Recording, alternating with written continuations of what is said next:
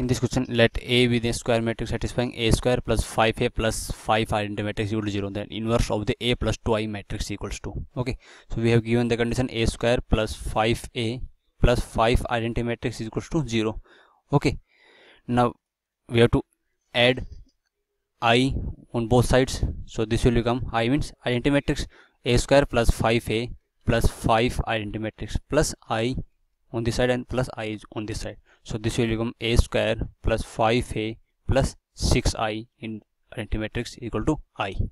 Okay. So this a square is a square is this a square equal to a into a.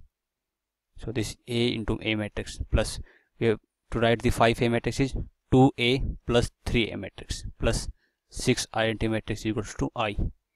So a common is a plus 2 identity matrix plus इसमें से three identity matrix common लेंगे, ये हो जाएगा A plus two I which is equals to an identity matrix so A plus three I into में A plus two I so this will come A plus three I into में A plus two I which is equal to an identity matrix so we have to find the inverse of the A plus two I matrix so inverse of A plus two identity matrix is equals to two A plus identity matrix. Okay. So inverse of a plus 2i comes out to be a plus 3i matrices okay. So this is the answer for this question.